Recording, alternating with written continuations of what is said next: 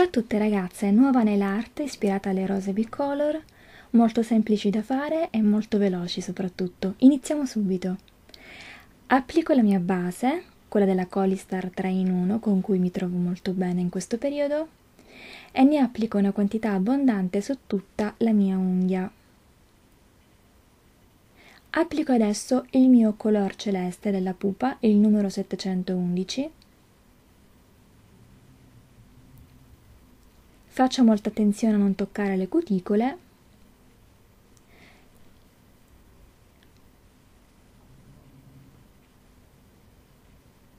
E ne do anche una seconda passata in modo da creare un colore bello compatto. Questo è il risultato una volta asciutto lo smalto con una doppia passata.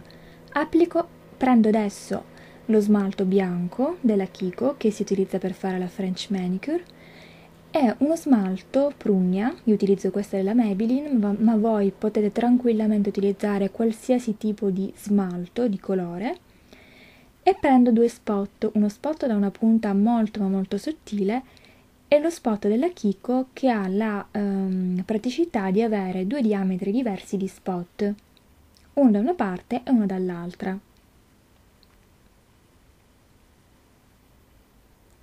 Apro adesso le mie boccettine di smalto in modo da facilitarmi l'operazione, non avere quindi eh, l'ostacolo di aprire e chiudere con il rischio di rovinarmi la nail art. Prendo il mio spot più, più grosso e scelgo lo smalto color prugna. Ne prendo una buona quantità e sul mio anulare traccio due puntini, uno accanto all'altra in questo modo. Pulisco il mio spot e vado a prendere il bianco. Faccio altri due puntini da un lato e dall'altro.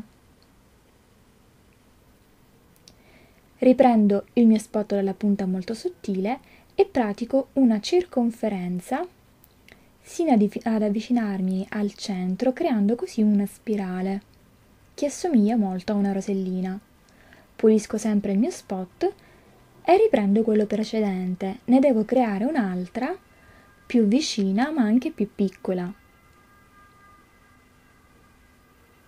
Ripulisco lo spot e prendo nuovamente il bianco e traccio sempre i miei due puntini, uno e due.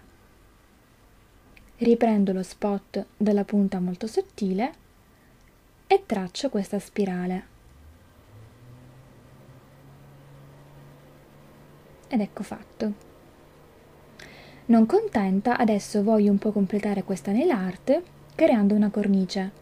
Prendo quindi lo spot dalla punta molto sottile, lo intingo sullo smalto prugna e tra le due roselline vado a disegnare una sorta di V facendo un puntinato in questo modo. Seguo praticamente i laterali delle mie roselline. Pulisco sempre il mio spot e prendo lo smalto bianco. Completo un po' questa cornice facendo altri puntini sempre di colore bianco nei terminali della mia V.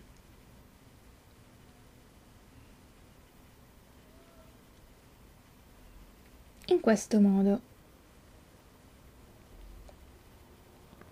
Una volta terminato, traccio altri due puntini bianchi al centro delle mie roselline, in modo da definire ancora maggiormente questo disegno. Lascio asciugare il tutto Procedo alla stessa maniera sul pollice e sigillo il tutto con lo Studio Nails della Essence Simil Gel, in modo da rendere il tutto più sigillato possibile e più duraturo. Questo è tutto ragazze, spero vi piaccia, un bacio e alla prossima, ciao!